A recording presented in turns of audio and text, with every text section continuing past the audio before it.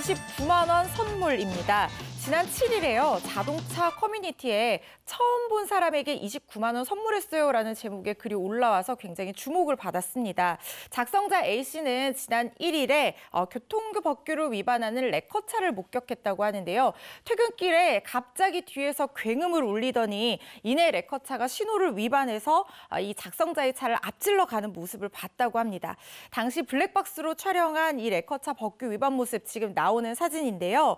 공개된 사진에는 이 해당 레커차가 어린이 보호구역에서 신호 위반 또 과속 단속 카메라의 감지를 피하기 위해서 우회전했다가 그대로 차로를 횡단하는 꼼수를 부리는 모습이 포착이 됐습니다. 어. A 씨는요 불과 5분 만에 이 세 개 교차로에서 신호 위반을 하던 레커차 형님 블랙박스 메모리 카드 빼는 것은 상당히 아, 귀찮은 일이지만 오늘은 스스로 수고 좀 해봤다라고 하면서 사고 결과 처리서까지 공개를 했습니다. 아. 그런데 이런 레커차 에게 A씨가 29만 원을 선물했다. 이게 좋은 의미의 선물인지 한번 좀 들어봐야 될 것 같은데요. 안 좋은 의미의 선물이죠. 네. 온라인상에서는요, 과태료나 범칙금 납부를 위한 고지서를요, 뭐 행운의 선물 아니면 상품권 이런 은어로 부른다고 합니다. 네. 한마디로 이 A 씨가 선물한 것은 바로 이 과태료와 범칙금 합계 29만 원이 적힌 고지서를 얘기를 하는 것 같은데요.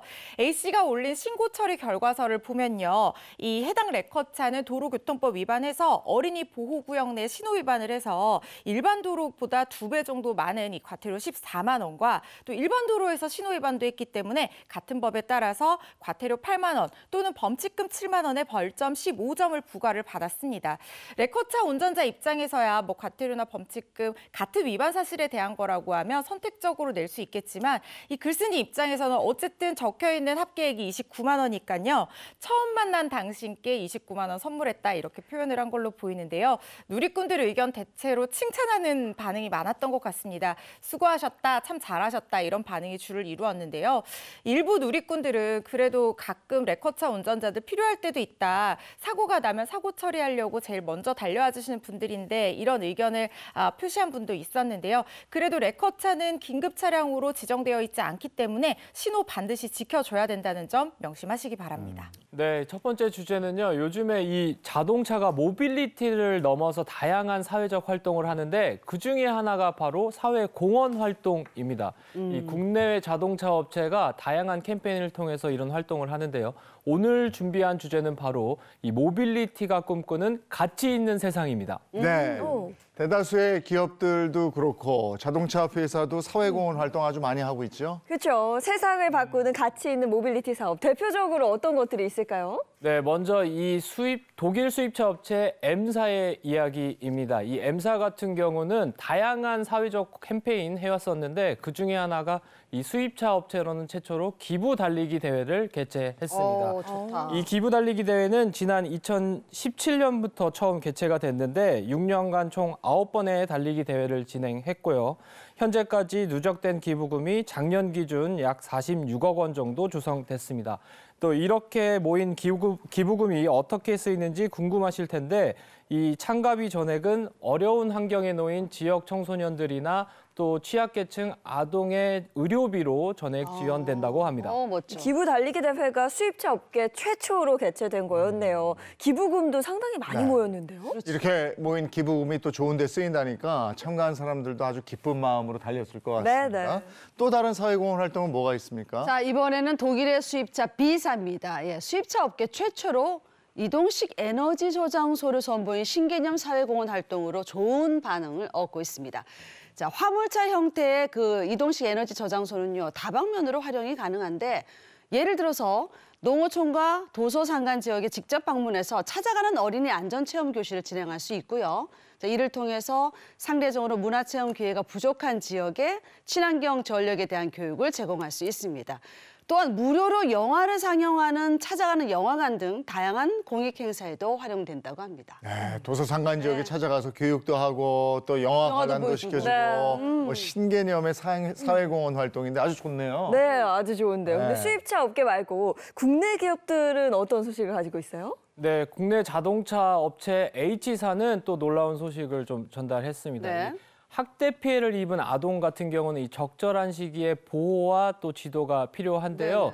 이 H사가 이 달리는 심리 상담소 상담소라고 하는 바로 이 디지털 테라피 모빌리티를 개발했습니다. 이 모빌리티는 H사가 2021년 생산한 이 다목적 벤 차량 S 모델을 기반으로 제작되었고요. H사와 K사 등 이 자동차 관련 다섯 개 사가 참여해서 최신 기술을 적용했습니다. 이 차는 이 글로벌 아동 권리 전문 NGO인 이 굿네이버스에 기증되었는데요. 이 실제로 학대 아동 피해 어, 심리 치료 현장에 투입이 되었고 또 이 관련 캠페인 영상이 공개된 지 2주일 만에 2천만 회를 달성하면서 이 대단한 호응을 얻었다고 합니다. 네. 오라 그러는 게 아니고 찾아가는 그렇죠. 거예요. 어. 아, 이건 좋은 아이디어인데. 네, 그리고 방금 그 차량 내부 모습 봤는데 실내도 굉장히 독특해요. 네. 맞아요. 자세히 좀 소개해 주시겠어요? 네, 이 심리 삼, 심리 상담에 이 특화된 이 차량 같은 경우는 대표적으로 이 세 가지 기술이 탑재됐다고 합니다. 먼저 이 차량 전면과 양측면 그리고 천장에 몰입형 디스플레이 기술이 자, 어, 적용됐는데요. 이 디스플레이는 이 가상 공간으로 이동하는 메타 모빌리티 경험을 제공하고 있습니다. 특히 이 디스플레이의 위치도 이 세심한 배려가 돋보이는데요. 이 아동 학대 피해가 피해가 많은 이 연령층이 13세 미만의 아동인 만큼 이 눈, 눈높이를 고려해서 설치가 됐고 또 이 이것이 아동의 심리적 어, 안정감을 유도했다고 합니다. 아, 사면에 설치된 디스플레이가 아주 인상적인데 효과적인 치유를 위해서 이게 고안된 거군요. 어, 그렇습니다. 그 기존에는 상담 전문가가 상담하면서 아동의 심리, 마음을 살피고 기록과 분석까지 이렇게 병행하는 게 쉽지 않았거든요. 근데 움직이는 상담소에는 다중화자 분리형 AI 음성인식 기술이 적용됐습니다. 그러니까 이 기술이 뭐냐? 모든 상담 내용을 텍스트 파일로 자동 전환하고요. 또 여러 가지 목소리 중에서 전문가와 아동의 음성을 분리해서 불- 구분하는 그런 기술을 탑재했습니다. 여기에 아동이 말한 내용 중에 중요한 단어를 자동으로 추출하는 기능도 있어요. 이를 통해서 아동의 심리적 위험 요소를 빠르게 파악할 수 있다고 합니다. 네, 기술의 발전 이런 거 정말 좋은 것 같아요. 음. 상담사가 오직 상담에만 집중할 수 있는 환경이 만들어지고 또 상담을 위해 특화된 차가 생긴 거잖아요. 네, 그렇습니다. 마지막으로는 이 뇌파 기반의 스트레스 측정 기술이 적용됐습니다. 이 아동의 귀에 이어셋을 착용하면 이 뇌파 신호를 감지해서 아이의 스트레스 정도를 실시간으로 파악하는 건데요. 이 전문가가 더욱 안전하고 효율적으로 상담을 진행할 수 있게 상담 과정 전반에 활용된다고 합니다.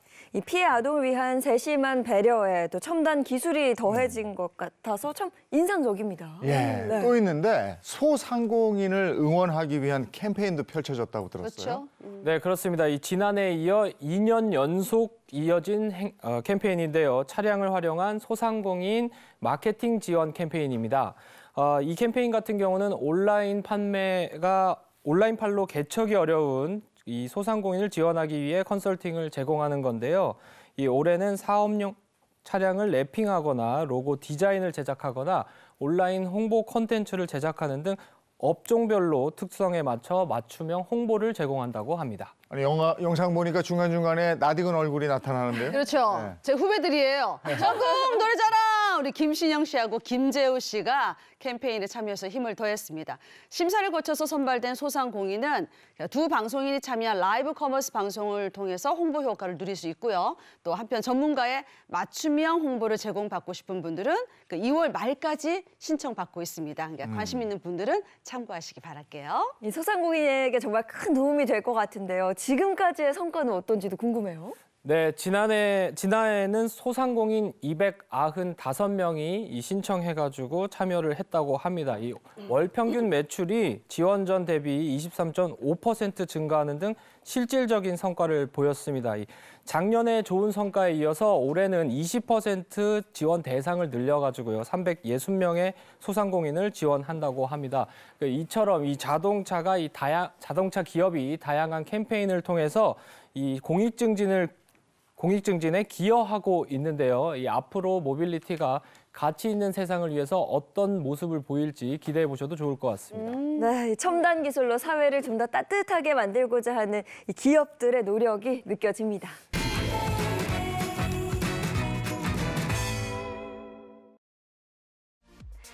순천만 국제정원 박람회 조직위원회는 2023 순천만 국제정원 박람회 개막을 50일 앞두고 지난 10일 한국프레스센터에서 프레스데이를 개최했습니다. 박람회에서는 국내에서 첫 선을 보일 핵심 콘텐츠들 역시 막바지 완성 단계에 있으며 노관규 이사장은 기후위기 시대 탄소 제로 실천을 위한 가장 현실적인 대안이 될 것이라 예고했는데요.